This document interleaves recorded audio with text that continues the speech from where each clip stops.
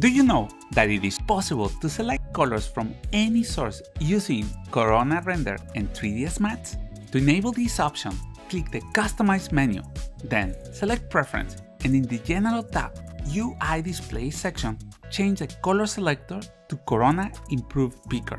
Open the Material Editor and click the color box to open the Corona Color Picker. Then, click and drag the eyedropper to select any color on your screens, for example, directly from the paint manufacturer. We can use this option to quickly and easily select the correct color for our projects without using other applications to get the color hex number or RGB like Photoshop. Hope you enjoyed the video. Don't forget to click the like and subscribe button. If you have any questions, let me know in the comment section below. And thank you for watching.